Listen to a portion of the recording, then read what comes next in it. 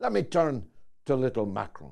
I've stopped calling him little Napoleon uh, because actually Napoleon, whilst short, was a man of substance, a man of stature who left a footprint across all of Europe and indeed farther afield. Little Macron will never be able to do that. He's more a Bourbon Dauphin sitting on his gilded throne in the palace of Elysee in Paris, ordering around imaginary armies.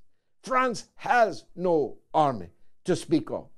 The last time the French army was tested in a European theatre, they folded like a cheap deck chair, allowing Hitler all the way to the Eiffel Tower in record quick time, faster than you could get there in an Uber today.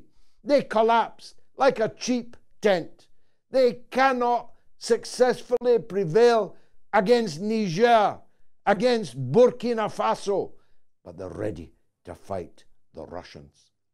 I need not mention that the last time uh, the Emperor of France went to Moscow, he had to retreat, a completely bedraggled and defeated figure.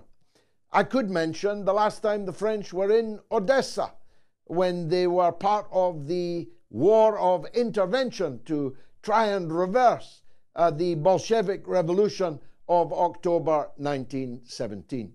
They held Odessa until the then nascent Red Army of soldiers and sailors, workers and peasants, including women cavalry troops, routed the French and drove them from Odessa.